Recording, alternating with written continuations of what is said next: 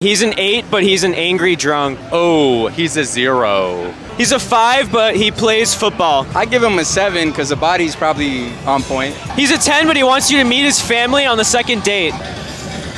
He's like a six. He's a seven, but he wants you to call him daddy. He's a 10 in my eyes. Like, He's a three, but he has abs. That's like a six. He's a nine, but he hates dogs. That's fine. I can just lock my dog in a cage. All right. You don't have to marry him. He's an eight, but he's a pup. That's a 10 to me. He's a seven, but he drives a truck. Five. Ooh, we don't like trucks. I'm not a big truck person, no.